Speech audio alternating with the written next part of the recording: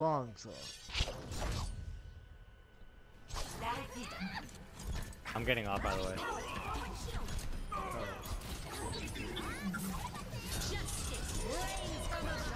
Later, guys.